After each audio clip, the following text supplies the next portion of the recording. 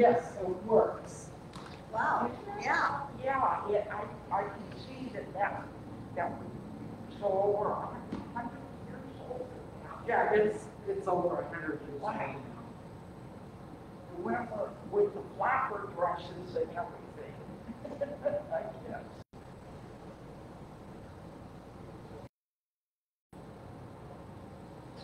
Okay, we'll go ahead and pray and get started.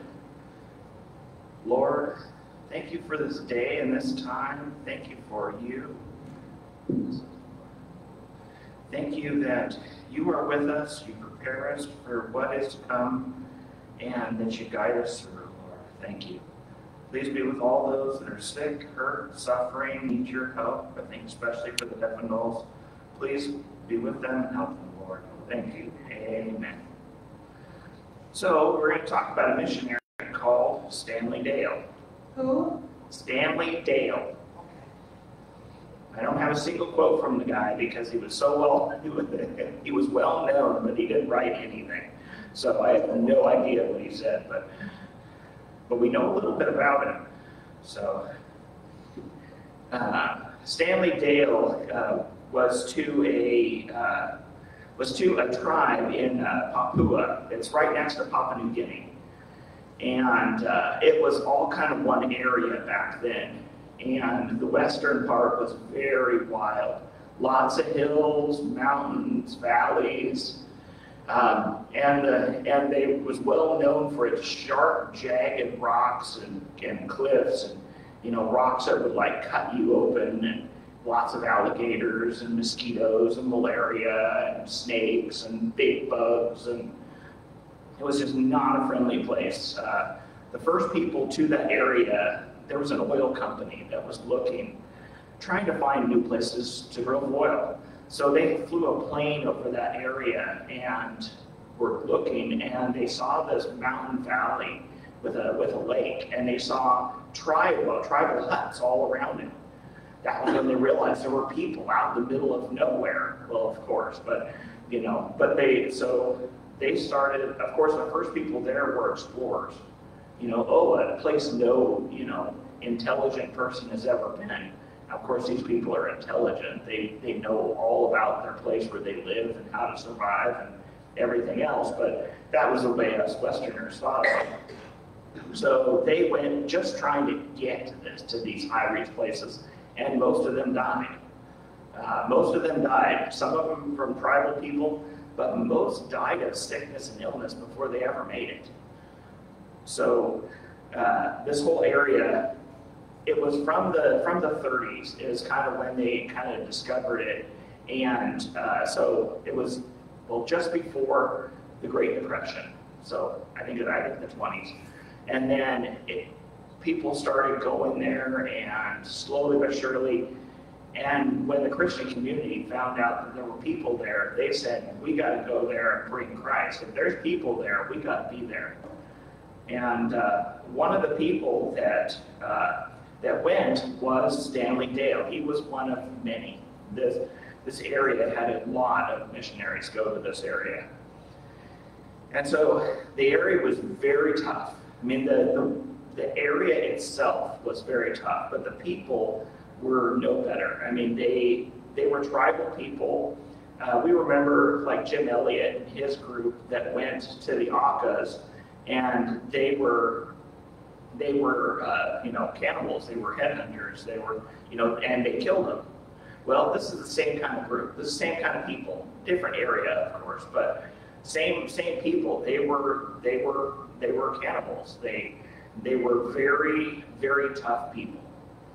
And uh, so Stanley Dale was called to a tribe called the Yali, the the Yali tribe. They were bar none, one of the hardest tribes that was there. They were the most ruthless, the most warrior tribe that was there, and uh, was well known throughout the area.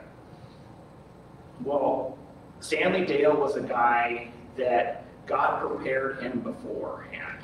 Uh, he had prepared different people. We see where he prepared David to go out, uh, to go and be king. He, he, he, prepared him to fight Goliath. I mean, what he say? You know, uh, bears came and, and wolves or, or, I mean, lions and stuff like that. They came and, and God led me. I took care of them, you know. I, I drove them away by God's grace. I, I, I, I, uh, I killed them and drove them away. And bears and stuff like that. Well, God had prepared him for what was to come. God had prepared David. Well, like David, he had been prepared even before he was a Christian. He was a tough individual because he was very short, a very short individual, so he had to be tough. And he learned to be a very tough individual. And then at the age of 18, God came and changed his life around and, and just completely changed him. Uh, we'll go to Isaiah 52.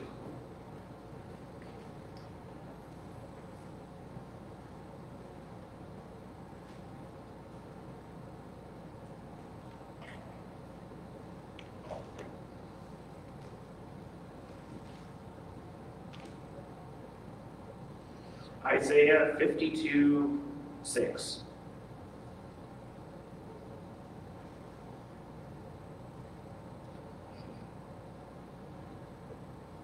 Therefore, my people shall know my name. Therefore, they shall know in that day that I am he that does speak. Behold, it is I. How beautiful upon the mountain are the feet of him, are the feet of him that bring good tidings, that publish that uh, publish peace, peace, and bring good tidings of of good, that publish uh, salvation, and saith unto Zion, Thy God reigns. Thy watchmen shall lift up thy voice, the voice of the voice together. They shall sing, for they shall see eye to eye when the Lord shall bring again Zion. So how beautiful, uh, how beautiful upon the mountain are the feet of him that brings good tidings, you know, good news. So how beautiful, that's how God looks at those who go forth and bring the good news to people. And it's no different in, in, in Christianity, no different in New Testament covenant, that it's, it's just no different. God sees those who he sends out who go bring good, the good news. He sees that they are beautiful in his eyes. Uh, Matthew 7.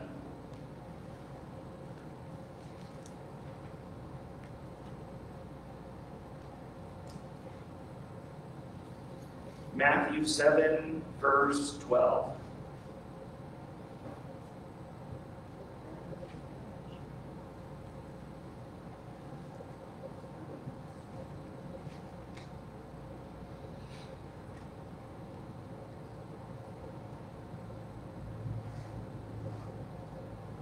Okay, Matthew 7, 12.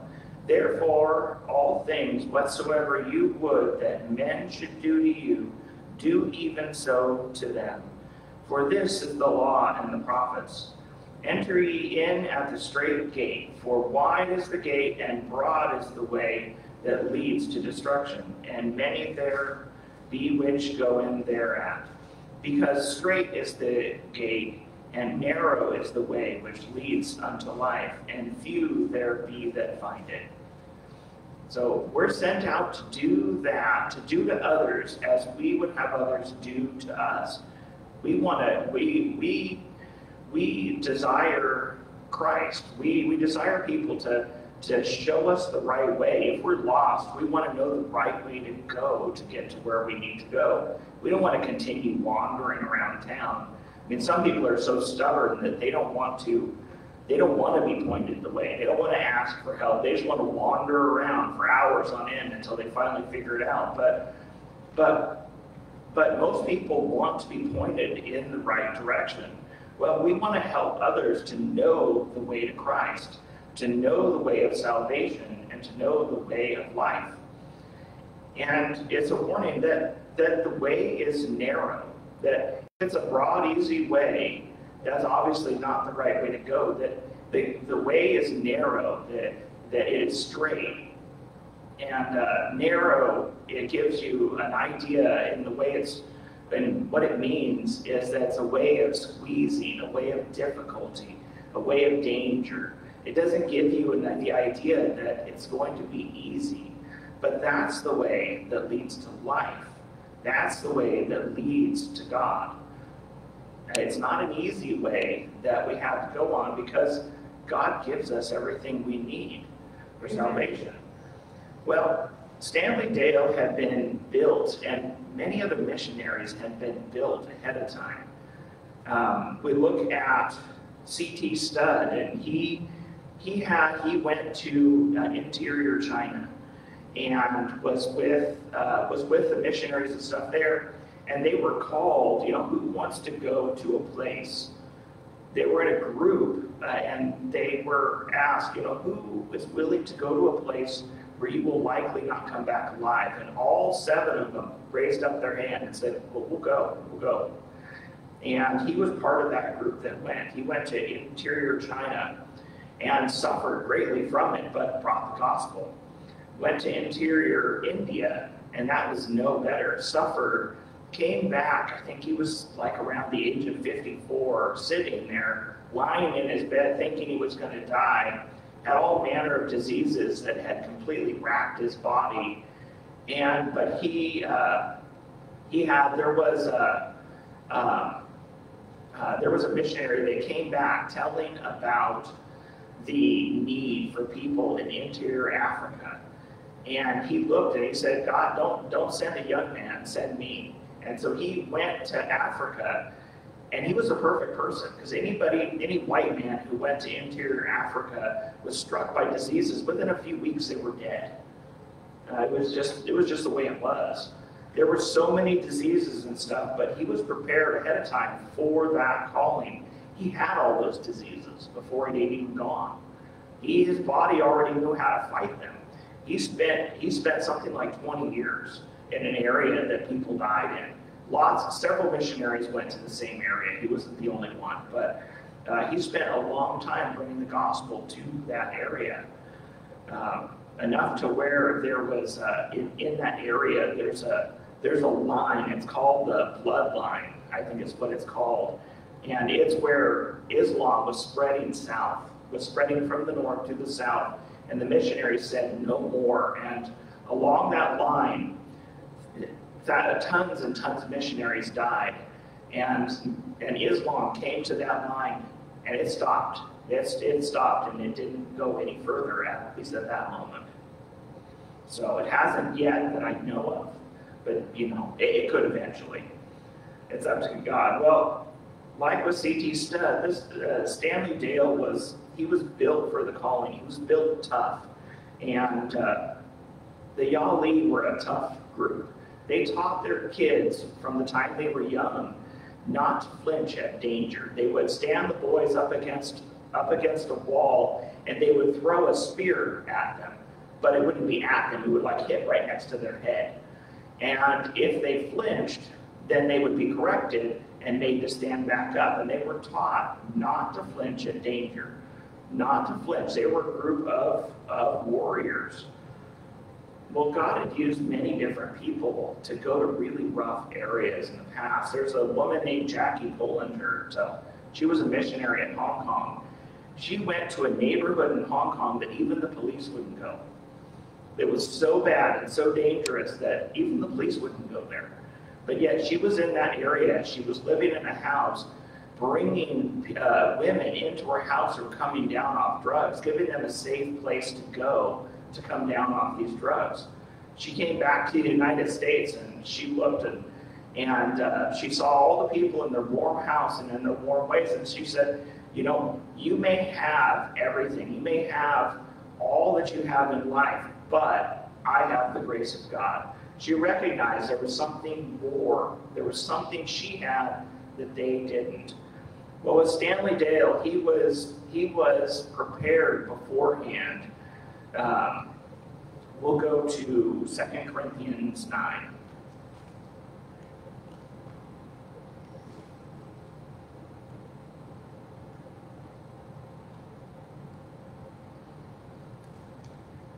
Second Corinthians 9 6.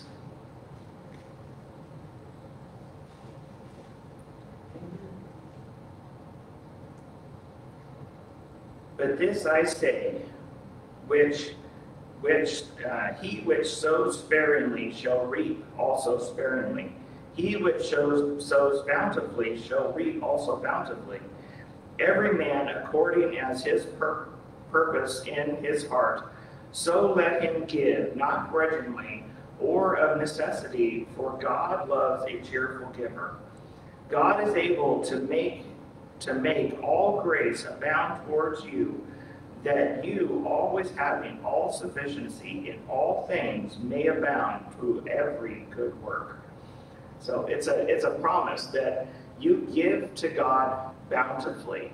If you give to him bountifully, he will give to you bountifully. Now it's not always going to be money and stuff like that, but he will give bountifully. He will he will give you grace for the work he sends. He will give you grace for every good work in all sufficiency. It's a, it's a great promise. And well, the missionaries have, have seen that that's, they hold God to his, to his promises. God calls them to an area, they go out, and that was the way old time missions was. You know, they would go, they might have looking for somebody to, you know, help them to succeed. But if God called them to an area, they went. And, uh, and there were times, there were all kinds of, CT Studd was only one of a few, but there were some, they said, no, you, we're not going to send you out. We're not going to, we're not going to send you out. You're just not, you're, you're not, you're not, you're not somebody who can go out and survive. Well, they went anyway, and God supplied their needs to go to where they were needed to go. Gladys Aylward is another one, a woman who went to China. And so she was supplied the need. They said, no, we won't send you. Uh, you're not somebody who can survive in these areas. Well, she went and survived. She led children out of the area where they were and led them to safety during war times. She was somebody who God sent and prepared for that for that way. Uh, we'll go to Romans 12.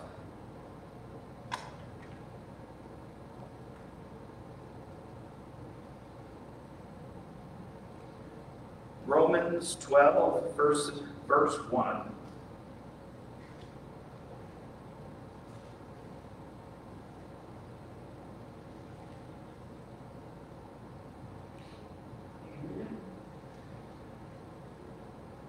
I beseech you, therefore, brethren, by the mercies of God, that you present your bodies a living sacrifice, wholly acceptable unto God, which is your reasonable service.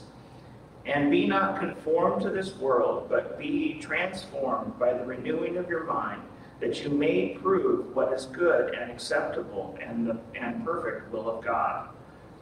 So you have uh, Stanley Dale had gone to this area. Him, they went to these people, and there was also a guy named Phil Masters. And there was another guy I can't remember the name of, but they went to this area and they learned. They they were with the Yali people and uh, the tale, when they first came to meet them, was kind of an interesting tale. Um, they had come, they were going through an area and were at, uh, like, I think it was a ravine, and we were looking across the ravine. And on the on that on the other side of the river, there was a uh, there was a tribal people, and they looked down and they saw this white man standing over over there, they called them duongs. Uh, uh, and uh, that means long-nosed white people. I guess that's how they saw them.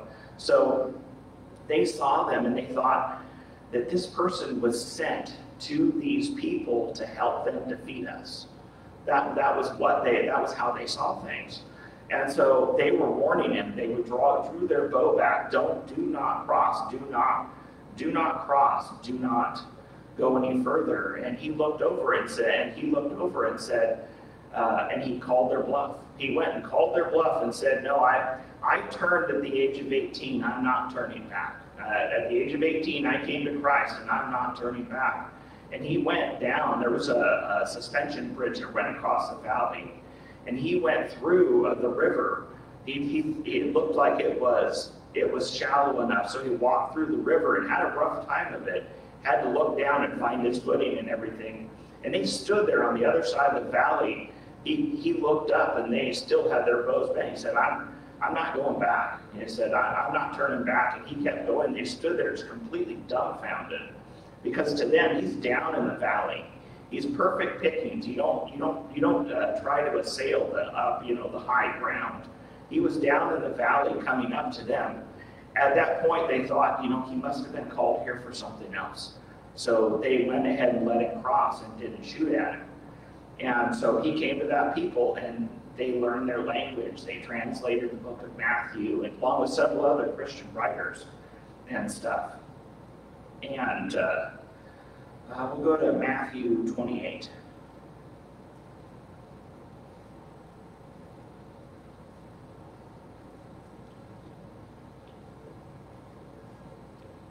Matthew 28, verse 18.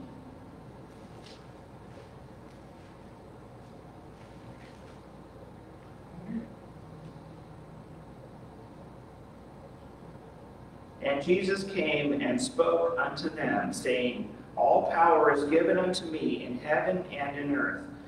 Go ye therefore and teach all nations, baptizing them in the name of the Father, and of the Son, and of the Holy Ghost, teaching them to observe all things whatsoever I have commanded you. And lo, I am with you always, even unto the end of the world. Amen. So, you have uh, he they knew this this promise. They knew that god was with them and that they were to go give the gospel to all people. Well they went they gave the gospel to them. And the and uh, the tribe was was the that what they were telling them was something completely foreign. They had people come into the land and smash their idols and stuff. And so it was completely foreign to them. I guess one of the yali tribe they must have been a couple of different ones, I'm not sure. But uh, they had actually shot him at one point with an arrow, and he didn't die. He just pulled it out, broke it over his knee, and just kept going. He was he was healed, and uh, so finally they had uh, they were scared. They were scared of his of the message he was bringing. They were scared of what they were seeing. They thought of him as like a god. And so they came after him and were shooting arrows, and he kept pulling them out and breaking them over his knee. When they found him, when they finally found, when they found his body, he had 60 arrows broken, uh, broken all around him, and he was stuck. He was stuck with a total of like 100 arrows uh, in order to bring him down. And they took his body and chopped it all up because they were afraid he might be resurrected, that he might, that he might rise again. There was another guy named Phil Masters that was found with him at that time, and I guess some of the telltales of the Yali later on were that they were singing, they were singing and praying and praising God at the time when they were shot. Don't really know because nobody was there. That was what the, that was what the Yali said afterwards. And so you have this uh, this this thing. It ended in such in such horror. It ended with uh, it seems like such a such a such a horrible way, but God was preparing the Yali for what was to come, and uh, that's a another tale that we'll have to wait for another time because there just is too much too much to tell.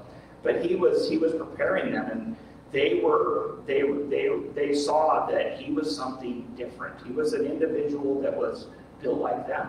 He was tough. He wasn't going to back down. He wasn't going to flinch from danger the way they saw it was the first one that flinched was the one who was going to die. He wasn't he wasn't running. He wasn't backing down. And he was the perfect man to, to go and bring the gospel to, to them at that time. So, so that's it for now. So, Lord, thank you for this uh, reminder uh, that you are with us, Lord, that although life is not, is guaranteed not to be easy, it's guaranteed to be difficult, but that your way leads to life, and that we are called to be those people to bring uh, bring the good news to those around us. We don't have to go to some foreign nation to have opposition to your word. We don't have to go to these places across the world. We are Christians wherever we are, wherever we go. So please Help us, Lord, and guide us. Give us the strength for what we can do. Give us wisdom for what to do and what's right. Please be with, be with us, Lord, and guide us. Thank you, Lord, for your good grace. Amen.